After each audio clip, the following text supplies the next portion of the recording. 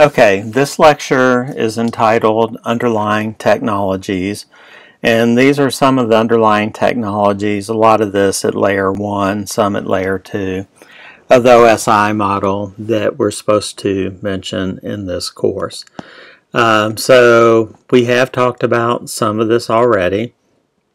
So we may have a wired LAN um, we've already talked about that, about signaling and about bit representation on the media.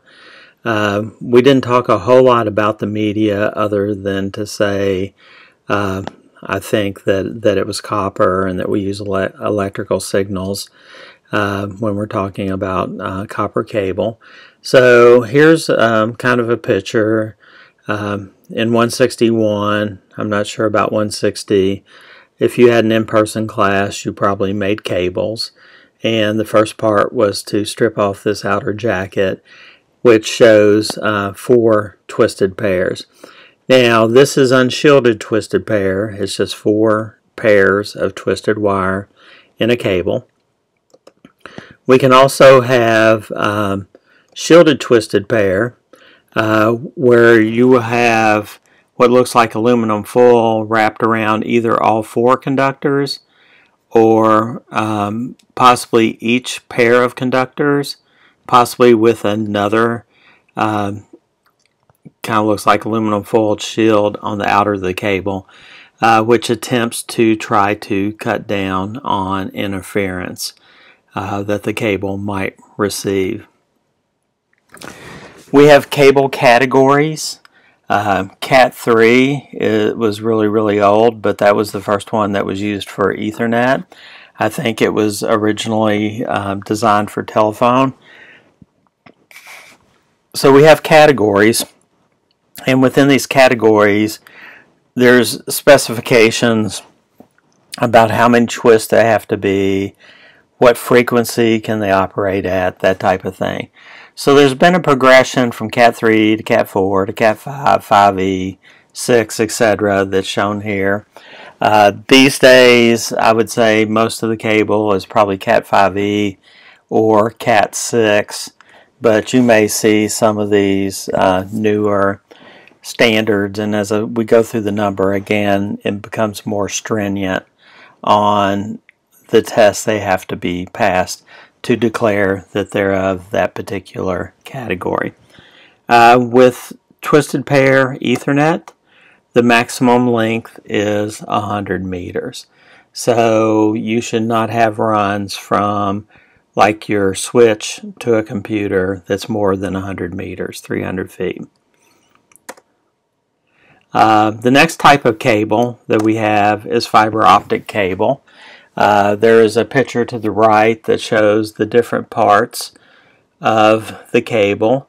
A lot of this is really for strengthening and not breaking that middle core, which is going to be plastic or glass. And if you bend it too much, is going to fracture or break and cause the cable not to work correctly. Uh, when we talk about fiber, there's multi-mode and single mode. Um, I tell my in-person classes that everything's backwards in, in fiber optic cable. You know, if I just told you you knew nothing about fiber optic and said, hey, for $600 you can buy some single mode fiber or you can buy some multi-mode fiber, uh, which would you get? And most people would say multi-mode because multi sounds like many. Maybe it's faster. Uh, in reality, single mode fiber has a smaller core and uses a laser to send the beam down. So it's pretty much direct light down the center of the core. In the case of multi-mode, it could be plastic and it could be a light emitting diode instead of a laser and the signal is going to be able to bounce around within the cladding, kind of up, bump up, down uh, as it travels, uh, which is not going to give you as good of um, quality signal. Uh, one of the big things in the Cisco curriculum that they kind of harp on is the fact that um, fiber is immune to electromagnetic interference. Um, now, as far as the length, uh, that's one advantage, the immunity.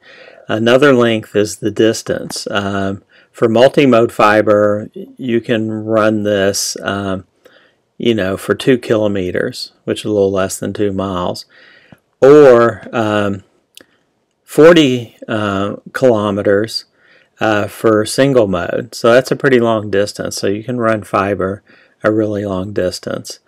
Um, the other thing we hadn't talked about, um, you know, I mentioned this in 161, but I don't know that we've talked about it here in 219, is the standards for wired LANs is in IEEE 802.3. So IEEE is the Institute of Electrical and Electronics Engineer. They're a standards organization that creates lots of standards. One of their standards is 802, which is computer networking and dot three is Ethernet. Uh, you know, 8, IEEE 802.11 is wireless, but everything in 802 deals with uh, networking. In one of my class years ago, I said I'm sure there's an IEEE 803, but I have no no idea what it is. But it's not computer networking. And one of my students Googled it and said IEEE 803 is a standard for naming devices in a power plant. So it's electrical in nature, but you know something totally different than the networking in IEEE 802. Um, we can have wireless LANs. Uh, we've already talked about how the signaling and bit representation works on a wireless LAN in a previous video. The maximum range is approximately 300 feet without any obstructions. If you're indoors with walls, uh, they typically say it's 150 feet. Uh, there's a relatively new standard called WiMAX. Uh, its range is 3 to 6 kilometers, and a lot of times WiMAX is used if you're trying to cover a whole city. We can have point-to-point -point WANs.